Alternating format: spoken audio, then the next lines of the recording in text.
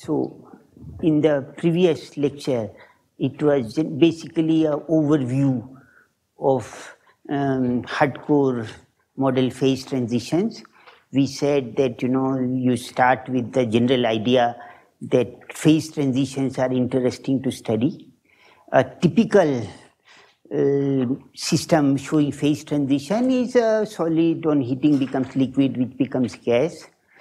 These transitions are typically first order transitions. And so it seems interesting to understand the first order transitions and not only focus on the critical phenomena which occurs only at the end point of transition. So then you can ask that, okay, these are first order transitions, there is a jump in density, and then what else is there to discuss? So I, uh, my aim in these lectures is to show that different first order transitions look like each other in some way and they differ from each other in some other way. Okay, so that is, there is a fair amount of richness in the phenomena which we would have liked to understand uh, a priori. But there is a complication as well. It seems that the transition from the um, ordered to disordered phase, solid to liquid or whatever it is called, can sometimes depend on the shape of the molecules. And sometimes you don't get one phase transition from solid to liquid, but you get a transition, sequence of transitions which are called intermediate phases, mesophases, liquid crystals. There are different types of liquid crystals, nematic, smectic A, smectic B, and I think people have managed to produce um, materials which undergo a sequence of nine transitions from solid to liquid in uh, Bengaluru. okay, so mm, that's not, so I'm just pointing out that there is some interesting mm, things which one can try to understand. So in this lecture, my aim is sort of more um, computational. We, the aim is to let you get familiar with some basic techniques which are used in understanding various systems in statistical physics. We'll use them in the context of hardcore models, but the techniques have wide applicability. Okay, so let me start with the first one.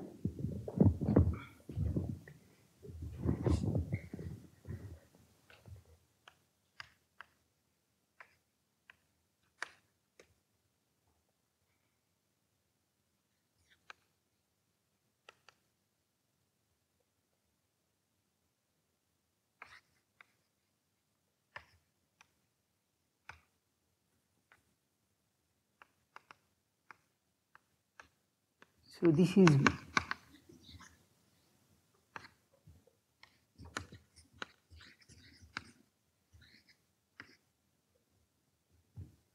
So I consider, uh, we will consider a lattice, lattice gas for the moment, we'll take it to be square lattice. You can generalize this technique to other things fairly immediately. And we'll take a gas which is uh, nearest neighbor exclusion.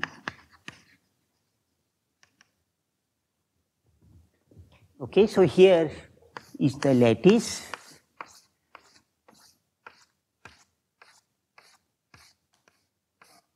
and I take some particle here. And then the you can try you can imagine that the system has a size which is like this. So these particles like hard squares which cover um, these diamond like objects so that and they are not overlapping. So you cannot put another one here but you can put one here. Okay so this site excludes this one and this one and this one and this one. Not visible? Okay. Bigger figures. Or I want to, you want me to shift to that side? Okay, just be, oh, I see, I should stand here.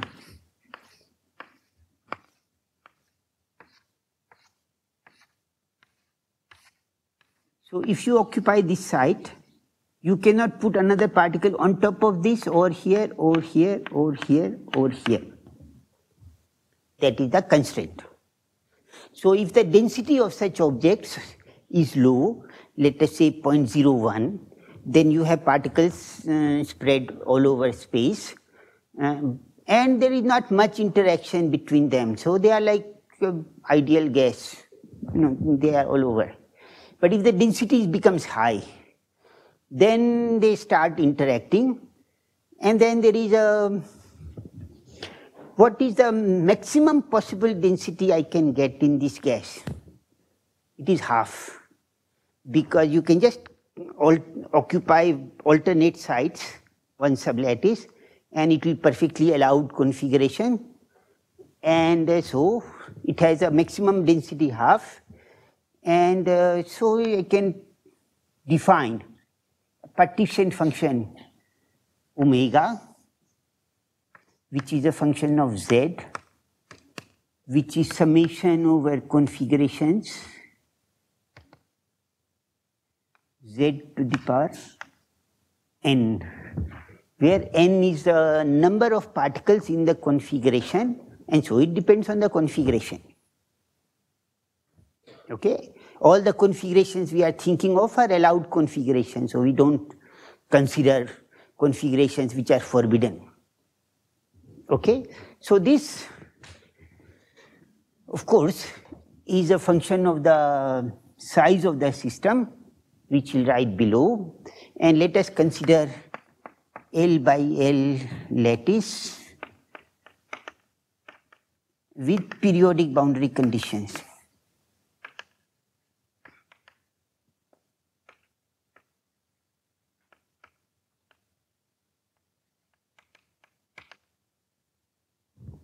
Okay, so this one can then be written as, I write this series as a power series in Z. So I write 1 plus, there is a term corresponding to Z, and then there is a term corresponding to Z squared, and Z cubed, and so on. And the last term will be Z to the power L squared by 2, which is the maximum number of particles you can put. You cannot put more. Okay? So if I take L equal to 4 by 4, you can explicitly write down this polynomial or 10 by 10. Then maybe you get a computer to write down. Okay? And then let's, uh, can we understand the behavior of this system? So ideally I am supposed to take log omega v of z and take limit v goes to infinity and that gives me a quantity which I'll call P of Z. It's the pressure of the gas. This is the standard Gibbs formulation of StatMech. And I'm putting Kt equal to 1. Because the temperature is not a variable. So I just take log of omega to be the pressure. It is pressure up to units. Okay, so, so this is what it is and we would like to know what P of Z is and uh, what I can determine are these functions. So let us write, so work out. Work out omega of L cross L of Z in my problem here. And these are some numbers. So I'll call these N1, N2, N3, and Nn is equal to number of allowed configurations with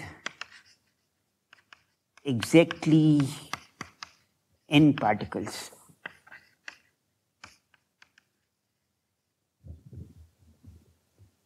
Okay, so now I want to write uh, with no particle there is only one configuration that is everything empty. If I only allow one particle, then it can be on any of the L sides and so sorry L cross L sites so it's L squared Z.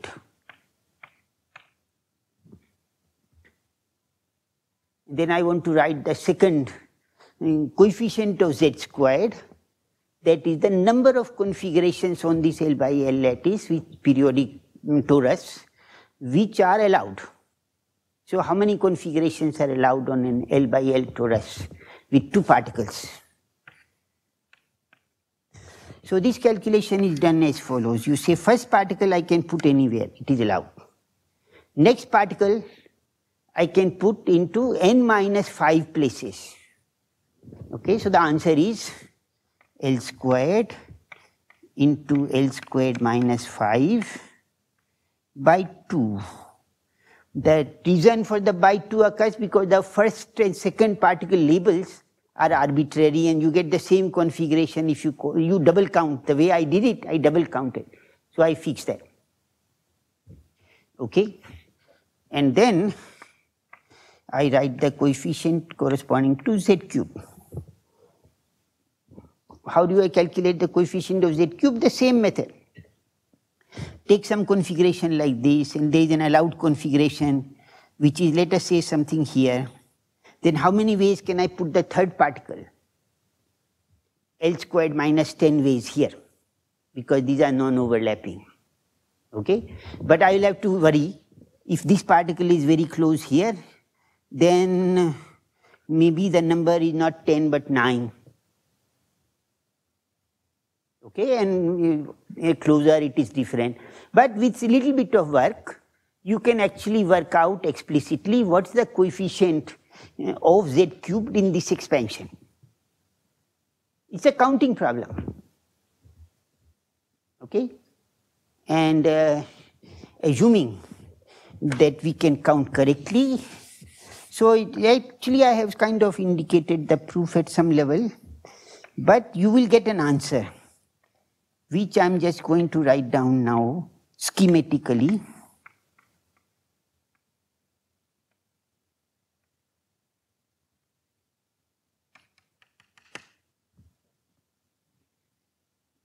Okay. So there is a term corresponding to L to the power 6, which roughly comes because you can put each particle in roughly L squared ways, and there are three of them, so it's L to the power 6. Actually, they were divided by 6. So let's put that 1 by 6 here. Then mm, there are configurations. This one is a correction term, so it is usually negative. It is because you overcounted. Sometimes you have to exclude some configuration, so there'll be a, and then maybe you overcount that one and there's a second correction, and so on. I will not work them out here. Okay, but this series is not a very nice series if you stare at it, because this is 1, this is L squared Z. Even when Z is small, I am supposed to take L goes to infinity limit. And then this first term contributes more than the zeroth term and the second term contributes more than the first term and so on. So it looks like even at low density, this series is not particularly useful. Okay? So that's the main thing we have to do, is to realize that what I would like to do, I will like to consider log omega of z and I realize or I postulate or I can show. But for the moment, we'll take it as a fact. And that this is actually a series which has the form L squared into A1z plus A2z squared.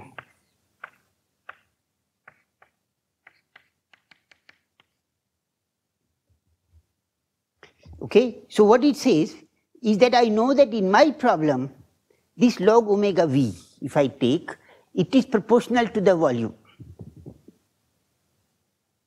This will not happen for all arbitrary functions you can Taylor expand into power series, but for my power series plus uh, correction terms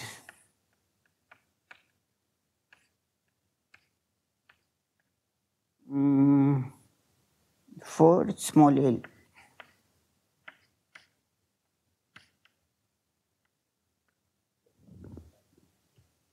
Okay. So I postulate this and then I write the I write this series 1 plus b1 uh, 1 plus yeah let us say 1 plus b1 l squared z plus b2 l4 plus b3 l squared z squared plus b4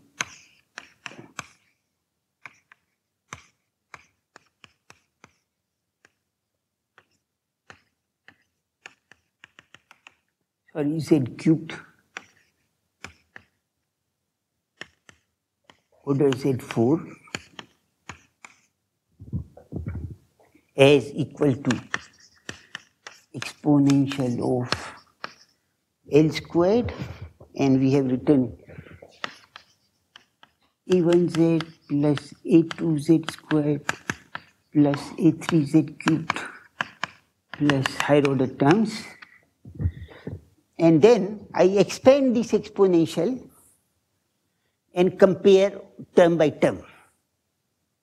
Okay, so the first term is 1 in both, that is working. Second term, I should get b1 L squared z is equal to a1 L squared z. So b1 must be equal to a1. Okay, and then I look at this is order z term, order z squared So in the here you get B2 L4 plus B3 L square. In the right hand side, when you expand this, you will get equal to A2 L squared from here, but you also get a term which comes from when you square this and divide by 2.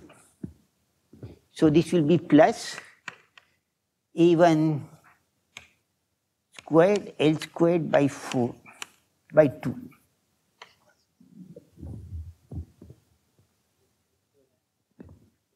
So, sorry, yes, mm, A1 squared is good, L4 here,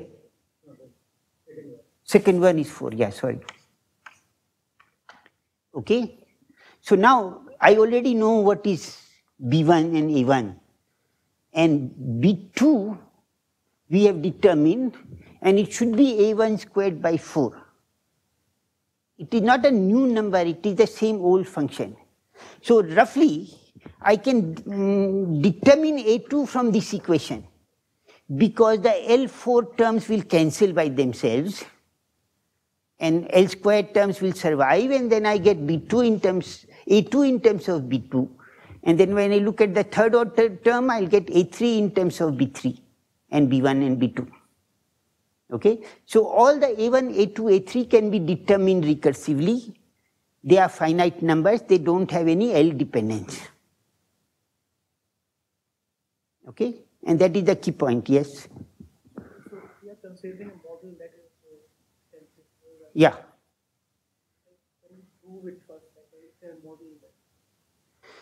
Yeah, yeah, yeah. So it is possible to show that if you take model with short range interactions, then the free energy will have this L squared form, very generally without going into the details of the interaction.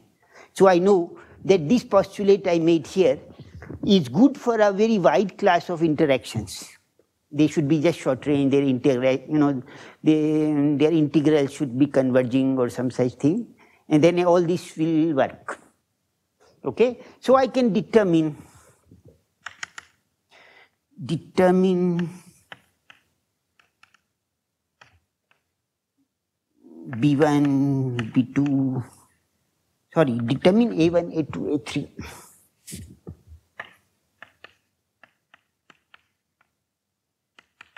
In terms of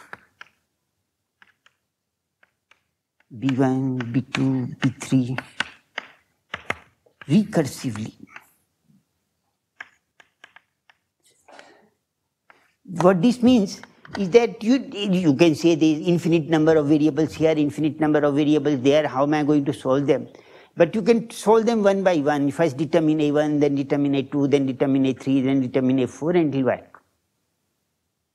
Okay, very good. So that is the Mayer series. Now with this series, log omega z is this. So then I can write density. So let us do that point. So this, now this will be called the Mayer second series.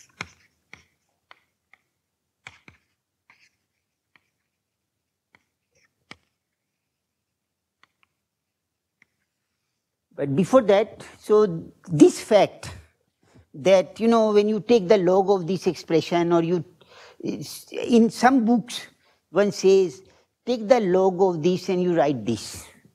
You know, then you take a formal log. But that sounds very unconvincing because, you know, this series uh, here, it's the stuff you are taking log of is very big and you know the Taylor expansion for the very big stuff is not really working. And so instead, one says that take this and exponentiate this and compare with this. That is a much cleaner argument.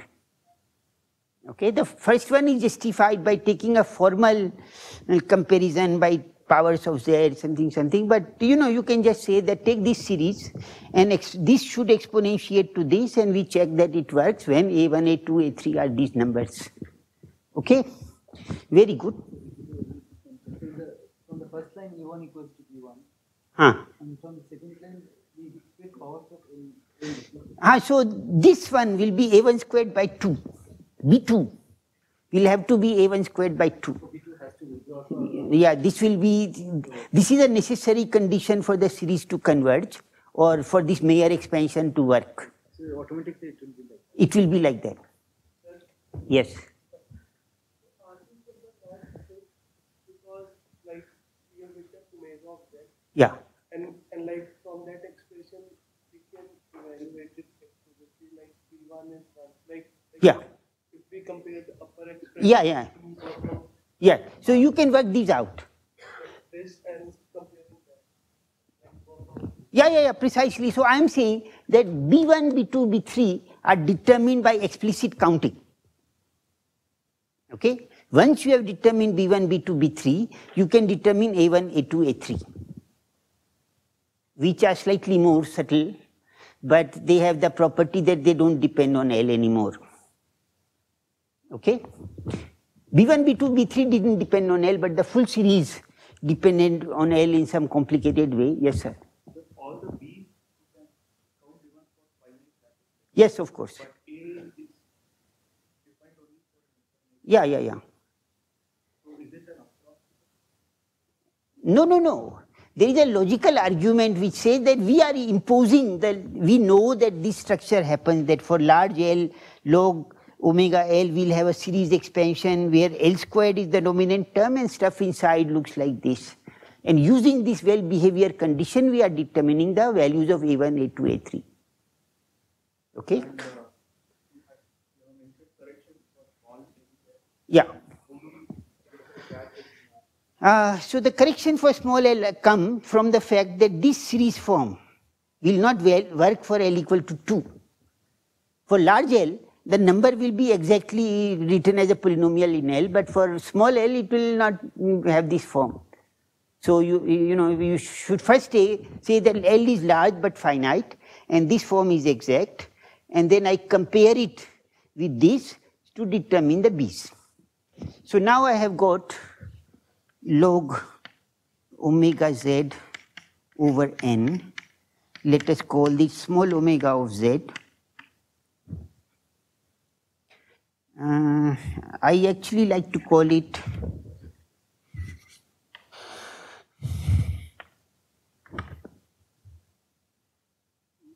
we write it like this omega of z to the power 1 by n equal to omega z log. Okay, it's just that I'm defining the omega to be the partition function per site. Instead of free energy per site, I'm taking the exponential of the free energy per site to be the partition function per site. Okay, so this one is written as a1z plus a2z squared plus a3z cubed plus it's a series. And in good cases, it can be shown that this series actually converges. It has a finite radius of convergence. While the original Mayer series, there was not much hope of it having a radius of convergence as a function of z. Okay, but now I'm not very sure.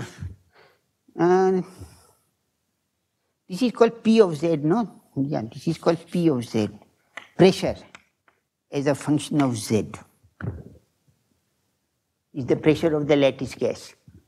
Okay, now d log omega z by dz z is called the density as a function of z. Density is the number of particles per site. So this I can evaluate because this is a series and I can take just the derivative z d by dz gives me the rho z series. So this will be a1z plus 2a2z squared because z d by dz pulls out a power of n 3 a3z cubed plus okay.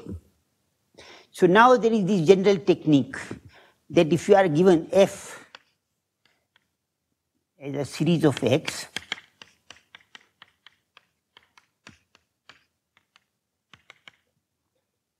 g is equal to another series of x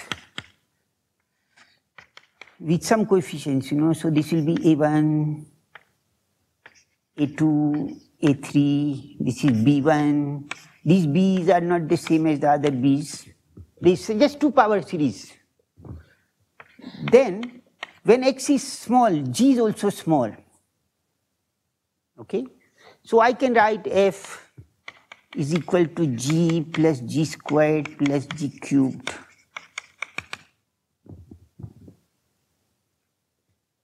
Okay? You can say I eliminate x between these two and f becomes a function of g. Okay? And can we expand this now as a power series? The point is, is that this series can be written down again by inspection or by sort of recursively working out. Suppose g is very small, then fx is equal to a1x, gx is equal to b1x, so this will be b1 by a1, sorry, a1 by b1. You work to order x, then g is equal to b1x and f is equal to a1x, then f is equal to a1 by b1 g. Then you work to order x squared. Then this can be truncated here and g is this expression, put that in here or rather, mm, yeah, so this will be this plus g squared. Okay, and so this can be inverted, this series can be inverted. So we'll write it C1 C2, C3. And this series for C is explicit and it can be worked out in terms of my series B1, B2, B3. And this one is sort of interesting because express P of z as p of rho. So this series is now called the virial series because it expresses p is equal to rho plus rho squared plus rho cubed. And all these operations are linear operations in the coefficients. Okay, so you will get the coefficients of this series which will be linear functions of b1, b2, b3 and all that stuff. Okay, so that is a very useful general technique. It's called the virial expansion technique. Okay, very good. So, so usually this is p is equal to rho is the first term and then this is the first virial coefficient, second virial coefficient and so on.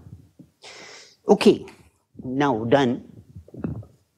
So now we will sort of imitate Onsager and use the Mayer series to calculate the virial expansion for long rods.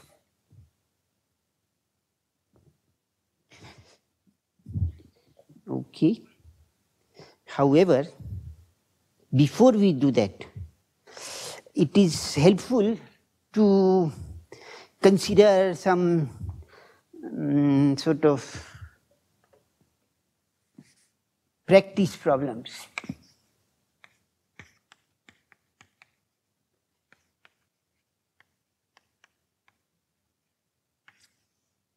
Yes. Okay, so uh, so uh, firstly, if you keep to order x, then the f is a series which is linear in A. No, it will be A. Now A2 will be determined in terms of B2, right, and so on. I think the denominators I should just put A1 equal to B1. Then the answers are cleaner. C1 is also 1 in the series we study, usually both of them start with x. If they don't, you just multiply one of them by something and then they start with x. Then this thing can be written as g squared already. So b2 equal to a, c2 equal to a2, that kind of stuff. So it, it works recursively. At higher order, some things you have to subtract. They are not identical, but they are very similar, similarly related.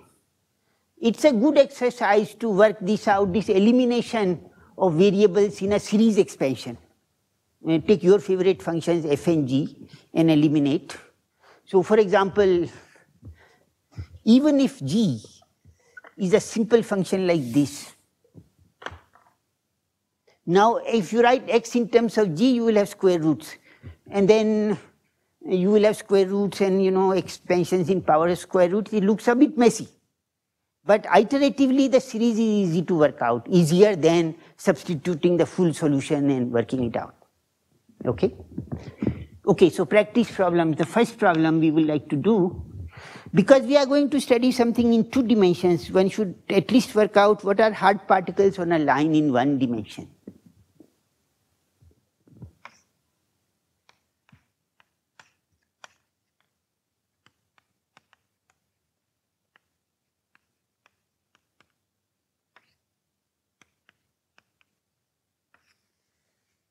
So I have a line of length L and I have particles, but they have finite size.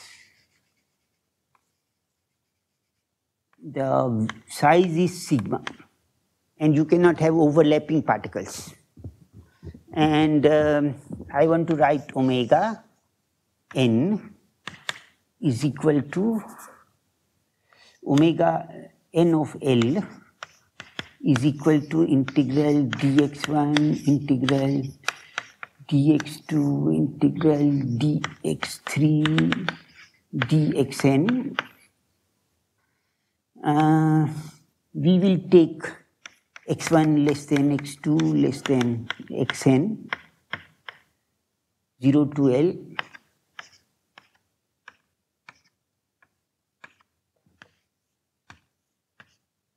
and there is this function 1 which is the indicator function for allowed functions and 0 for others. So it's a simple exercise to do this integral, but it's a multidimensional integral. And so how to do it? So there is a standard trick which works here, which is that you define the spacings delta 1, delta 2, delta 3. This is the nth particle, there is a delta n plus 1. Okay, so delta i is equal to xi plus 1 minus xi minus sigma. Sorry, yeah. Uh, this is good for i greater delta 1 equal to x1 minus sigma by 2 and for i bigger than 1 this is true and I will take delta of n plus 1 equal to L. This is the last. There is no particle here, but I imagine uh, L plus sigma by 2. Okay? Then uh, this integral in terms of delta becomes integral d delta 1, d delta 2, d delta n plus 1. Sorry, there are only n variables, so the, the delta n. Um, and then the condition is x1 plus x2 plus x3 plus xn is xn is less than equal to L minus n sigma. Okay, and so this can be done. So this is, you know, you have to do it geometrically in three dimensions. This is something like the volume of a tetrahedron. In four dimensions is the volume of a four dimensional tetrahedron. Okay, and so this becomes L minus n sigma to the power n plus 1 over n plus 1 factorial. Sorry? The condition, Huh. delta 1 plus delta 2. Oh yeah, sorry, I beg your pardon. Delta 1 plus delta 2 plus delta n plus one- delta n is less than, okay. So now this is very easy because I can take the log, log omega nl d by dl gives me the pressure.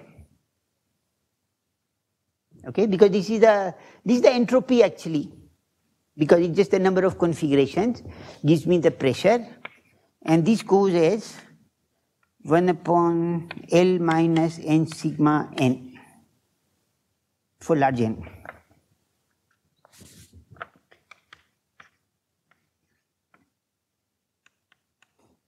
And so this pressure, so this can be written as 1 upon L minus sigma.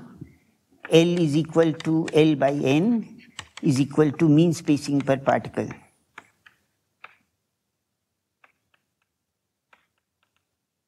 Which is 1 by rho. Okay, so it can also be written as rho over 1 minus sigma rho. And so if you plot P as a function of rho, the maximum value is 1 by sigma, and the graph looks like that. Okay?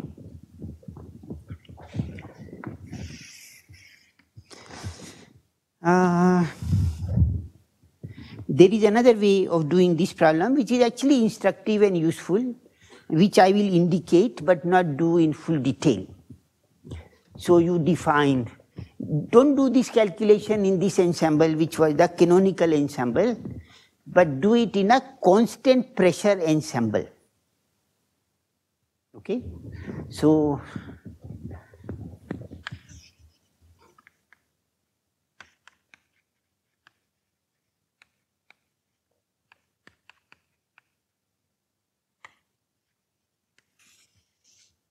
constant pressure ensemble is defined by Z of P is equal to integral dl zl of n e to the power minus beta pl. So this is the partition function of n particles on a line of length L and I multiply it by e to the power minus PL because that is the probability that the extent of the system is up to L. There is a pressure and so there is a energy PL and beta PL is the weight of that configuration. So in the constant pressure ensemble value of L is not fixed but it is weighted by this factor and then I sum over all dl. Okay. So in this case there is a beta PL so this becomes um, this uh, I will not do the full calculation here. Here the constraint that here the, there was a constraint that all the deltas have to add up to something you know here. This constraint is no longer there and the integrals over delta 1, delta 2, delta 3 are independent variables. They just multiply. So this becomes more or less equal to integral d delta i e to the power minus beta p delta i minus beta p sigma.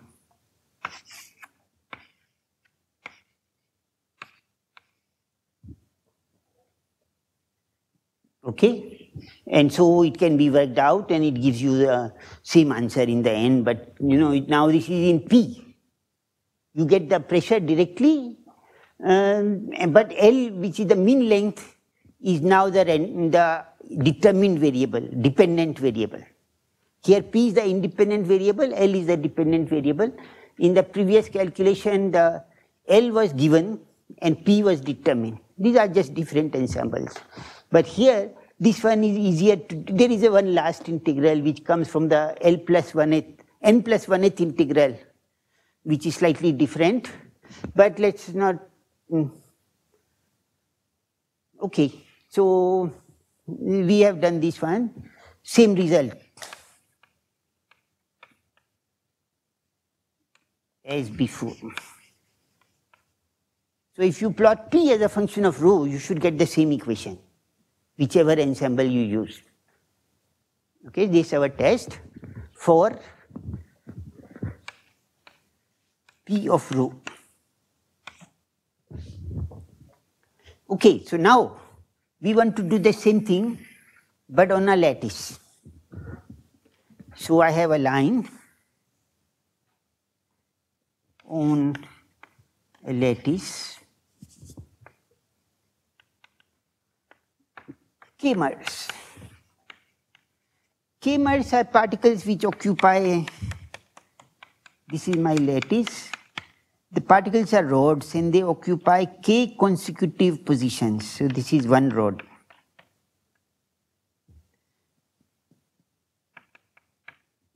Five, five. But then all rods are of same length. The next rod will be here and the next rod could be here and so on. Okay? So the previous problem was where the variable, the position was a continuous variable now the variable has become discrete. So I don't do integrals over xi, I do summations over possible values of xi. Okay? And so can, what is the answer when you do on a lattice? I guess the graph will look something like this, but you know we would like to see the exact functional form and does it depend on k in some way and what. Okay, so we define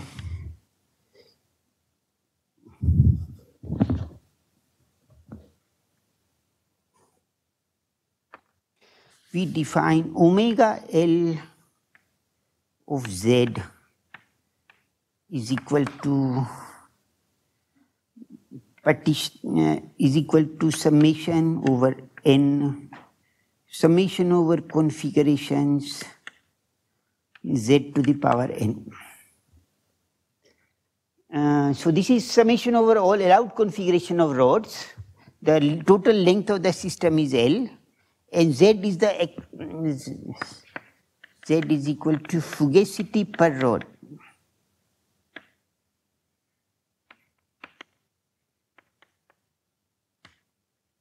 So if there are n rods, I write Z to the power n and some overall configurations and that is my omega. This is the grand partition function for a finite size L. Then I should take the L goes to infinity limit and divide by L and you know that's the standard all this as before. Okay. Uh, now, now I have to do counting. So, you know, we can go back to the first part, Mayer series kind of stuff. But it turns out that there is actually a quicker and efficient way of getting this now, which is, uh, let's see how it works. So, I guess I know that omega L equal to 1 of Z is equal to omega L equal to 2 of Z is equal to omega k minus 1 of Z equal to 1. Because if the length of the system is less than k, you cannot put any particles. It's just 1. But omega L equal to k will be what?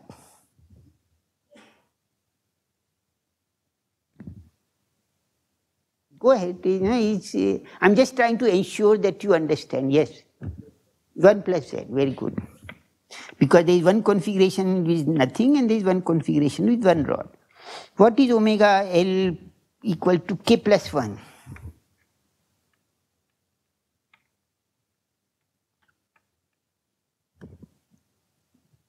One plus two Z, because now the Kmer, there is only one possible, but it can be slided, and you can write more.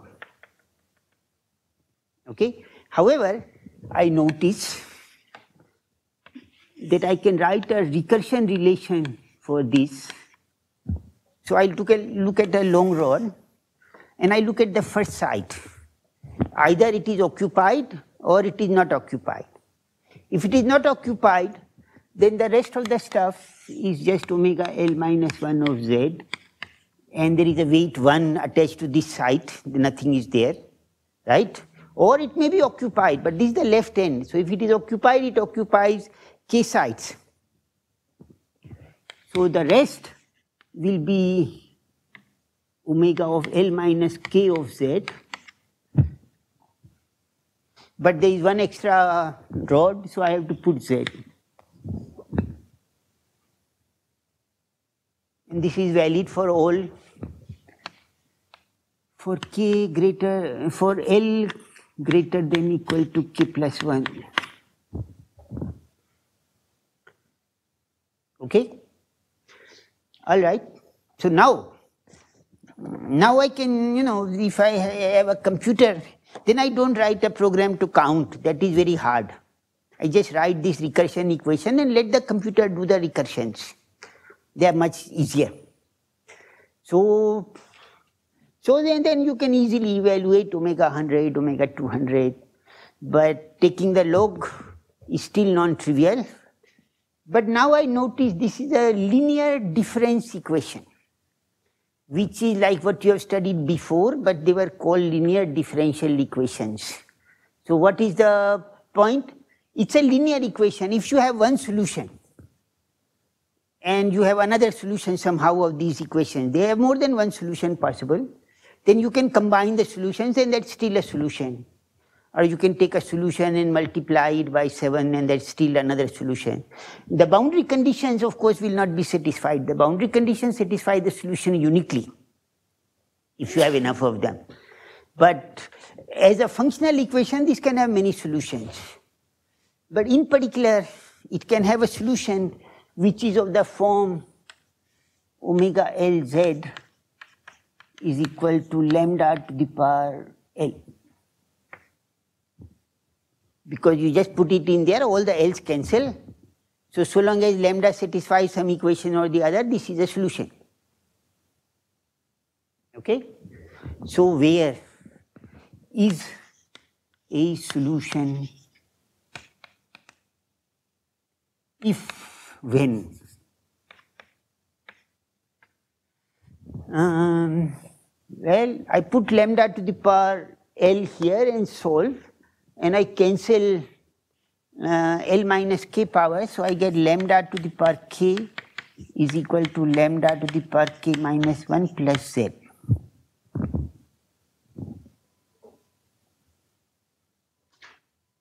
Okay, so that's my equation.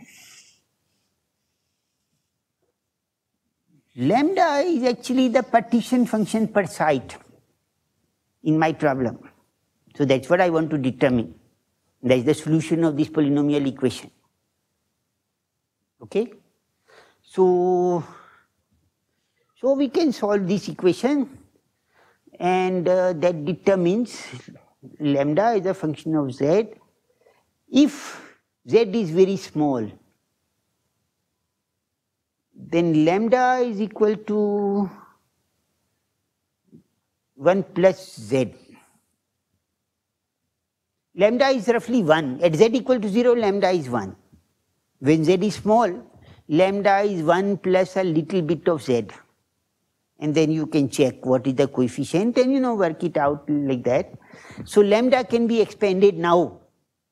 Given this equation, I expand this equation in a Taylor series and then I can determine the coefficient successively. That's much easier than working out the Mayer series because you know that in principle works, but the, this is a, we are using some extra information to get it to this form. But even this equation is not very comfortable if you work with large k, k equal to 50. Then this equation is not very nice to handle. And so what we can do is I write lambda is equal to 1 plus epsilon. Okay? And then and this equation becomes lambda to the power k minus lambda minus 1 uh,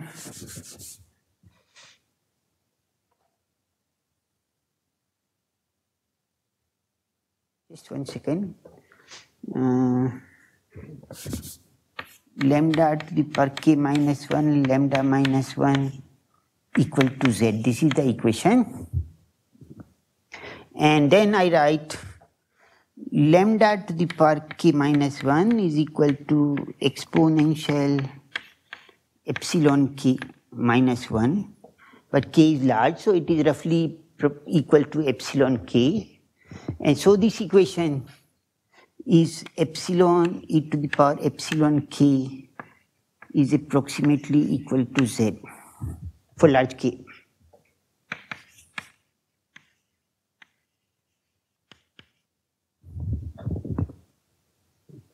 Okay? So this equation uh, I can try to solve. It looks a little bit better than this one. No, I made this approximation. This is 1 plus epsilon to the power k minus 1. Let's um, 1 plus epsilon to the power k minus 1, which is approximately equal to exponential epsilon to the power k minus 1 which gives you that. Okay. So this we erase. So now can we solve this equation or can we solve this equation to see the behavior for z? Uh, lambda is a function of z. That's what I wanted to know, yes. No, z is any number. It can be 0 to infinity. It's a positive real number. And we are trying to study the behavior of lambda as a function of z. Sorry? No, no, no. If epsilon is small, uh, if k is large, if k is large, then epsilon is small. Epsilon. Oh, maybe let let me not say this. Uh, so let's look at this equation. It's the same, but let us look at this equation as a lambda is a function of z. And you know, if I take its derivative, I get the density as a function of z. So what does that look like? So lambda is a function of z for large z. Lambda goes like 1 plus z for z goes to 0 and it goes like z to the power 1 by k for z goes to infinity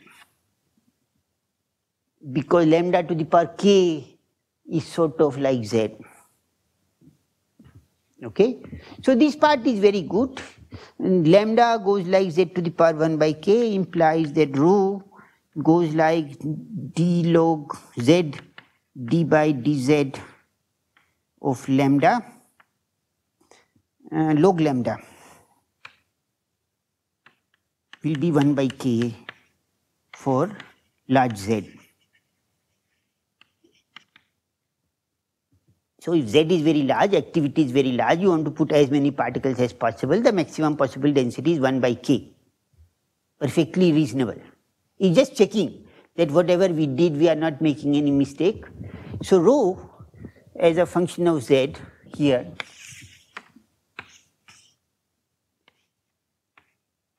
find out as this goes to 1 by k. But it's usually nice to know a little bit more about this function than just the asymptotic values. So what can one say about the behavior in this region?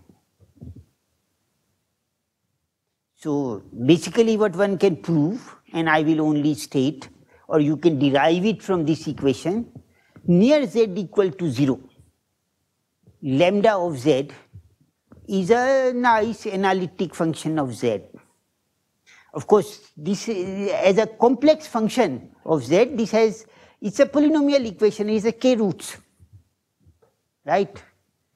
So each of the k roots is actually an analytic function of z, but it may have branch points or some singularity somewhere else, local, locally analytic function of z, and uh, there'll be some the solution which is 1 at z equal to 0 is the one we are looking at, that is the branch of interest. And that branch for large z goes like this. Okay? But this function is very interesting. For large z, it has an interesting behavior. Okay? So what is the behavior for large z? This is the question we are asking. So what I want to do, so what is behavior of lambda z for large z?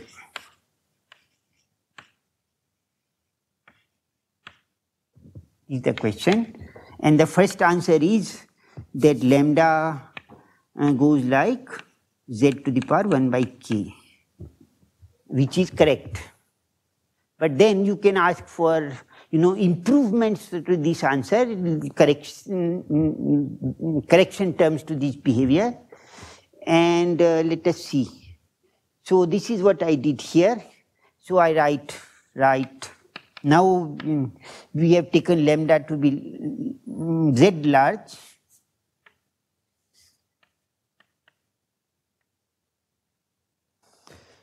Uh, z is large then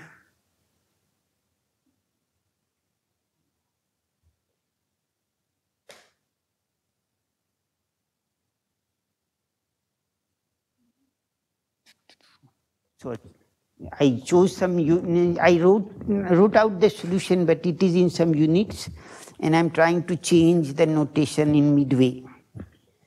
And I guess that is not a good idea. So, let us stick to the notation as in my notes. So we will, um, Z large and K large, that is the kind of situation we are interested in. And I want to write this equation, epsilon exponential of K epsilon equal to Z. And I want to solve this equation.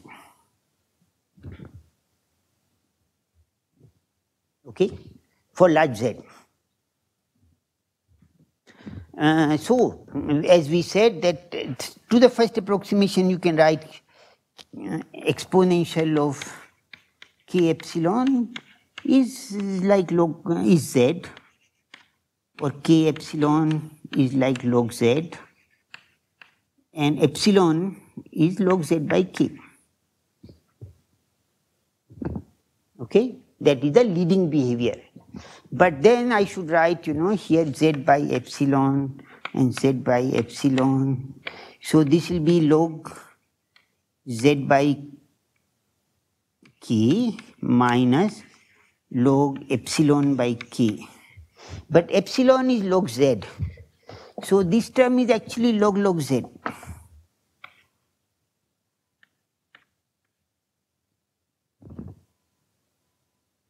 Okay? And then you write the next correction term to this one. Yes, so, so suppose you say epsilon is equal to log z minus log log z plus terms which are smaller in size. What is that term? What is the next subleading behavior? So it turns out that that will be log, log, log of z. Keeps on going like that. You just get log, log, log, log. Yes. It's not visible. Okay, very good. I will come back here on this side.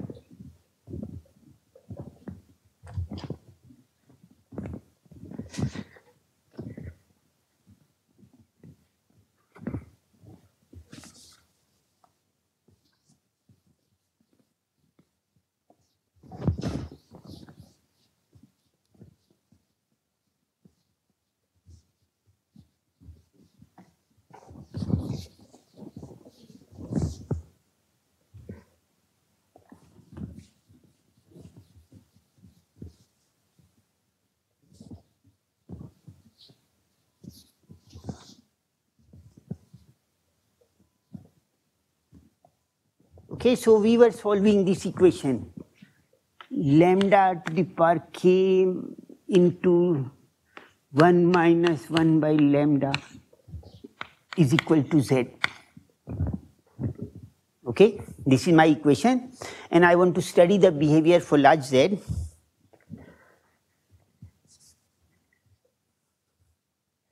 So for large z,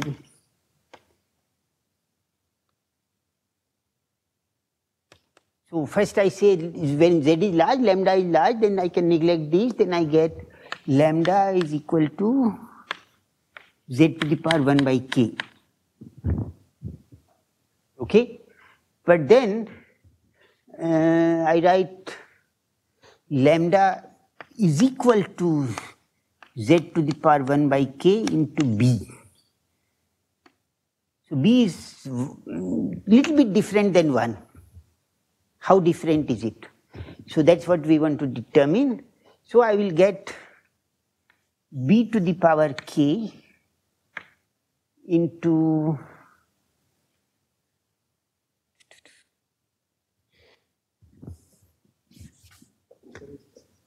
sorry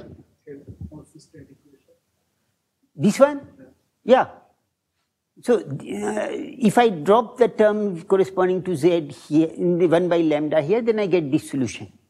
But now I want to keep this correction term and see what happens. And um, so the way it's in my notes, and I'm not able to do algebra st uh, standing here on the dais. Um, so the answer is that you write lambda is equal to e to the power epsilon and I want to write epsilon as a function of z and it is equal to log z by k, this is the first term. But then there is a term which is log, log z, which is, is the next correction is log log z and next correction is log log log z and it keeps on going like that. Very strange function. You have not encountered, I suspect a large number of you have not encountered such a function before. Okay? So, but of course this function has been encountered in many contexts at many times. So people gave it a name. It is called Lambert function. So it is said that if there is a function w e to the power w equal to z, this equation has a solution where w is equal to solution is w of z and it has this behavior. So then I don't want to, when I want to solve some problem later and I will have all these things, I don't want to expand in powers of log z or something, Thing I'll expand in powers of w of z. Then the first term gives you the answer at this level. Okay? All right. Uh, yeah, so there is a long article by Knuth about the beauty of this solution and uh, you know properties of this Lambert function, but we will leave it for people in aficionados of special functions and computer science. We will just say, okay, there is a solution which is called Lambert function which has this kind of behavior. Okay, so now what can we do beyond this? So what we would like to do is high density expansion instead.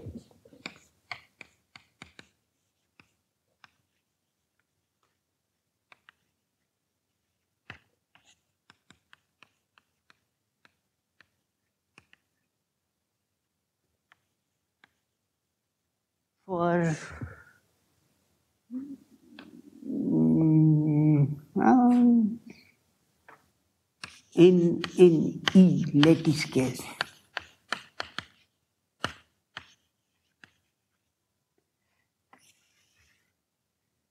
So I don't know, this is next neighbor exclusion.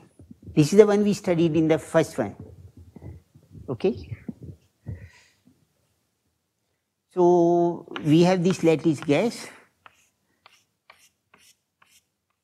where this particle is there, these are not allowed. But now I want to do a high density expansion. Instead of low density, when Z is very large, then how does it behave? Okay?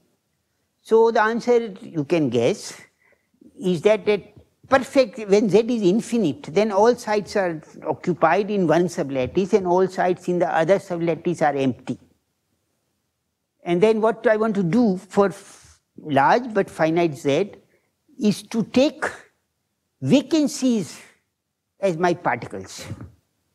And there is a, what is a high dense gas of particles is a dilute gas of vacancies. So I will write a Mayer expansion for vacancies instead of Mayer expansion for particles. Okay? So let us try to do that. So I still take the, so this is my, in my same system, omega by omega z. Now, uh, z to the power L squared by 2. This is the leading term for large z. This is the term in which half the particles are full and others are not there. And I guess if I am very careful, there is a coefficient 2 in front. But the, then there is a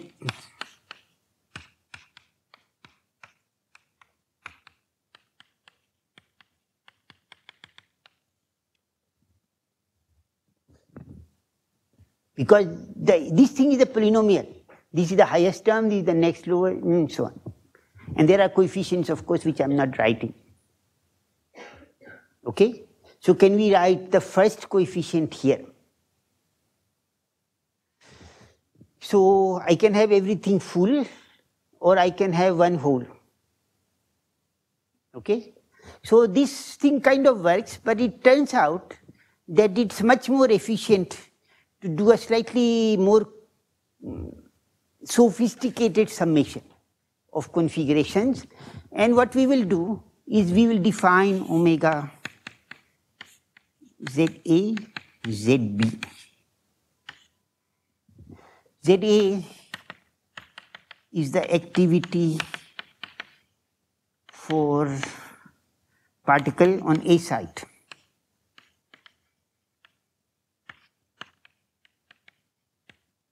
And ZB is equal to particle on B site. And here the lattice is written as AB, AB.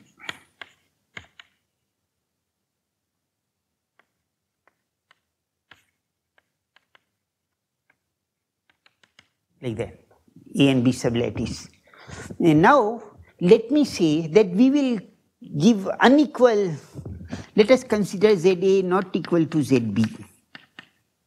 In fact, I will put ZB equal to 0. You cannot occupy particles on the B sublattice. Then the problem is easy because on the A sublattice all sides can be independently occupied. So omega L by L ZA ZB equal to 0 is equal to 1 plus ZA to the power number of sides. That is going to be L squared by 2. And now I will write this. Uh, now I can expand this in powers of ZB, this full function. So ZB equal to 0 is this, and this thing will be 1 plus ZB plus ZB squared plus ZB cubed.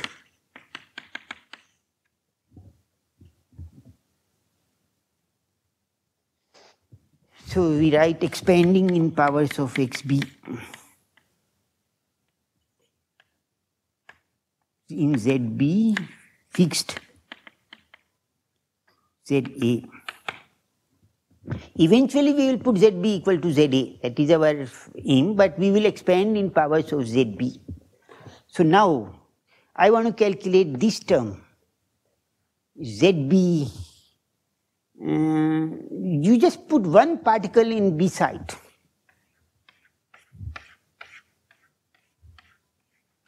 So all the A sites are either occupied or empty, you know, they can be anything. This one, they occur with different weights, like that. And now I'm looking at configurations where one B site is occupied. This is a B site. But if this B site is occupied, then the four A sites neighboring have to be empty. So I will not allow all possible configuration of A sites only subset of A sites where all those four sites are empty will be um, giving weight. So that is going to be 1 upon 1 plus ZA to the power 4. Because four sites have to be empty, they occur with this weight. And then how many such ZB are there?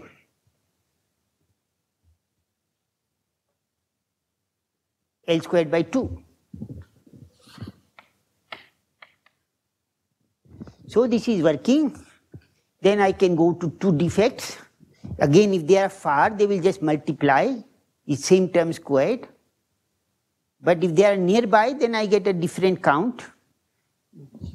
So if I take this occupied and this B site also occupied, then these six sites have to be empty. So I will put 1 upon ZA to the power 6 and so that will give um, some power of uh, ZA, 1 upon ZA to the power 6. So even if I put ZB equal to ZA, I lose one extra power of one extra power of Z in the second term and then in the third term and fourth term. So you can, each of these terms will involve some functions of ZA, which term by term I can work out and then I mm, take the log of this log of oh this is a very big Z. The partition these are activities L cross L is equal to L squared log 1 plus ZA by 2 plus here you will get ZB over let us write it as F0. of ZA. This is when once you occupy this site and the, whatever is the corresponding weight in ZA, plus there will be a ZB squared and there will be some F 0, 0 which is you put two B sides like this and whatever is the corresponding multiplicative factor you work out.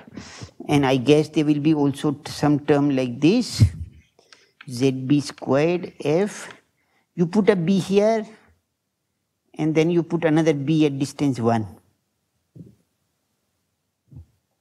okay and um, so there is a series expansion you can develop in powers of 1 by z. And if z is big, then this series converges and you have an answer which is this, but you can calculate corrections. So if z is 50 and not infinite, you actually get a pretty good estimate of the correct answer by doing these series expansions to finite number of terms. Okay, now, ah, very good. So we have 8 minutes. Okay, so now we have the general technique of low density expansions and high density expansions. And I can use it for my favorite problem at any given time. So let us say the lattice looks like this, SB4, but my particles look like these, they are crosses. each particle looks like this.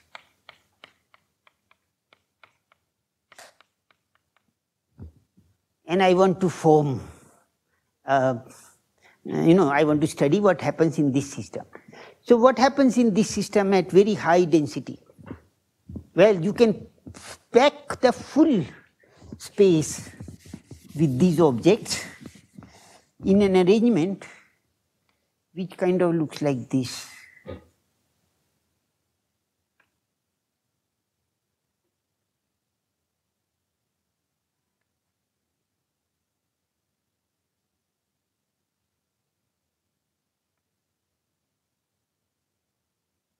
And so on. You get the idea. Okay? So I can pack it fully, that is the maximum packing state, and then I can develop high density expansions around this as before, and they will work out. Uh, so what is this fully packed state? That is a state which breaks translational symmetry. Because now if I look at one configuration of the full stuff, then it will have the centers of all the particles will be on one sublattice and not on every possible site. This sublattice is a sublattice of the full system with the unit cell 2, 2, 2 minus 1. You know, you start with the lattice, make multiples of um, E1 equal to 2, 1 and E2 is equal to minus 1, 2 and integer multiples of these and occupy all of them, you get 1. But you can shift this by one unit and you get a different arrangement. So how many different arrangements are there total? How many distinct ground states of the full system? Well, the unit cell is in volume 5. Each part, mm, so there are at least five different things, but actually you can see that when I form this, you can either go in this direction or you can go in this direction. Okay? So there are actually 10. There are 10 distinct ground states.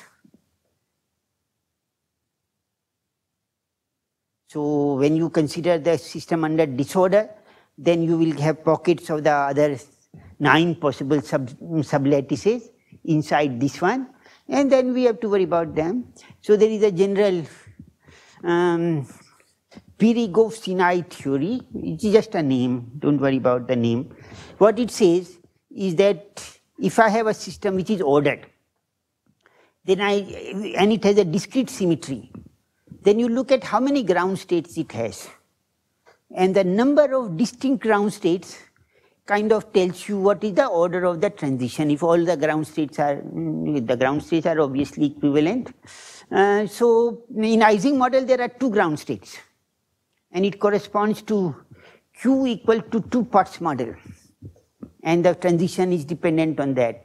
If you have some other system like you have hard hexagons on a triangular lattice, then they form a lattice, but it has a mm, 3 by 3, it has a threefold degenerate ground state. And so then it corresponds to Q equal to 3 Potts model universality class, and this one will correspond to Q equal to 10. Okay? Uh, okay, very good. What we were planning to do, okay, I still, my watch is slower than this one. Oh, uh, this is five minutes before, no? So, okay, anyways. So I had planned to do a little bit more. So let me do this. So this part is okay, this one can be done. So some stuff like this can be studied using high density expansions.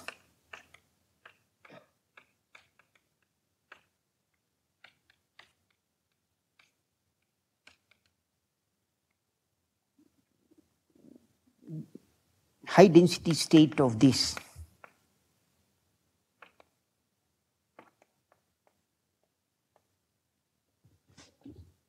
can be studied using high density expansions because they converge and you know you are it's it's however suppose we consider a system which is simpler apparently than this one where the particles look like squares 2 by 2 squares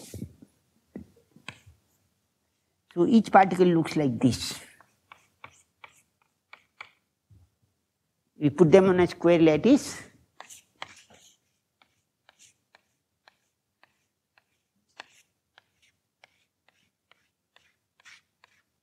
And what happens to this system? That is the question. So we decide that at low density it looks like a mm, non-ideal gas. I can discuss the deviation from the P equal to rho kt behavior by doing the virial expansion, Mayer expansion. It will give me various terms. I can determine order by order terms. No problem.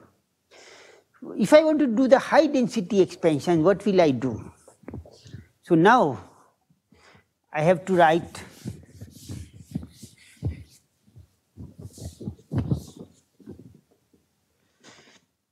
high density expansion. So Z is large.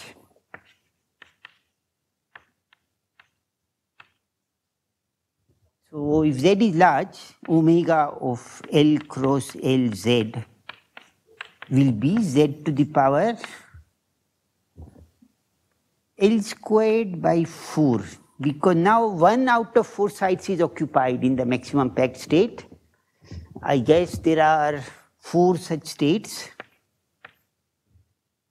plus. So now I expect that the next power is L squared by 4 minus 1. And then there is a L squared by 4 minus 2. So I would like to write it as z to the power L squared by 4 1 plus 1 by z plus 1 by z squared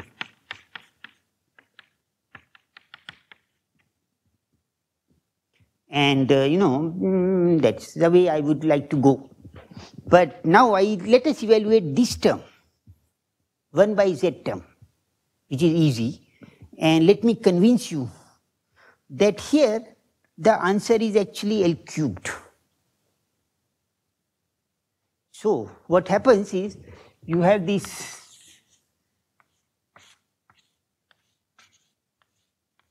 fully packed squares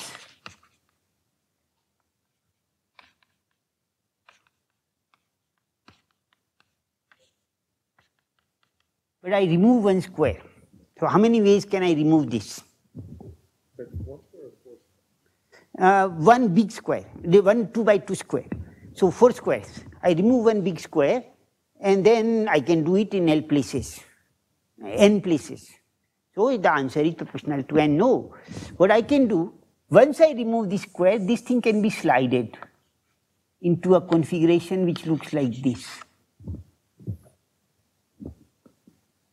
So a square we removed becomes a vacancy. A vacancy breaks into two half vacancies. And these half vacancies can move apart. And they kind of, so they, there are possi L possible configurations for this half vacancy and L possible configurations for this half vacancy. There are L squared configurations for the half vacancies and they can occur on L rows. So that's L cubed. And of course, instead of rows, I could have done it in, in the column direction.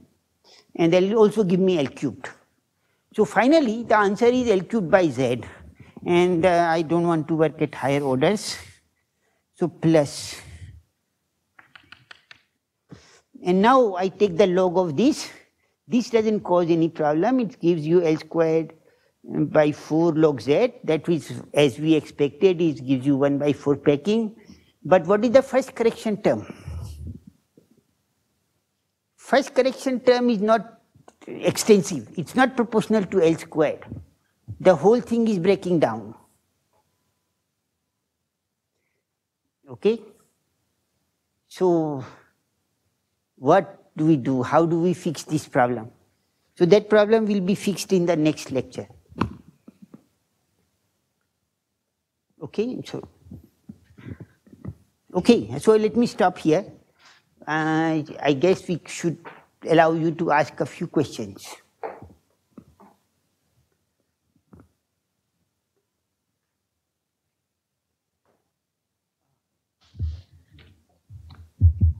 So do you know for sure that when you have uh, that five-fold or ten-fold stuff that the system is described by a 10-state Potts model, or is it a 10-state? 10 it is a speculation. It is a base. It's an educated guess. I think the problem has not been studied in great detail.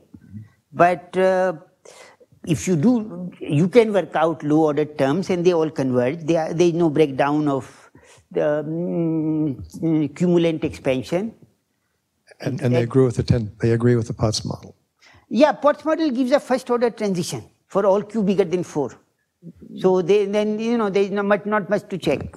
Presumably this model also has a first order transition. But, but there must be many models that have 10, 10 states. So just. So it will be hard to, you know, what check will I make? The check I can make from Monte Carlo will tell me, presumably, that this thing undergoes a first order transition. But that's not enough to, to be sure that it's the, exactly a Potts model, right? I mean, maybe it's. Mm -hmm. So the low density state, okay, it's not exactly, no, no, no, okay, maybe I should have said 10 state models in the generalized Potts model class because it doesn't have Potts symmetry necessarily, but there are 10 distinct phases and they are, the phases are equivalent, but the um, islands of B in A need not be the same as islands of C in A.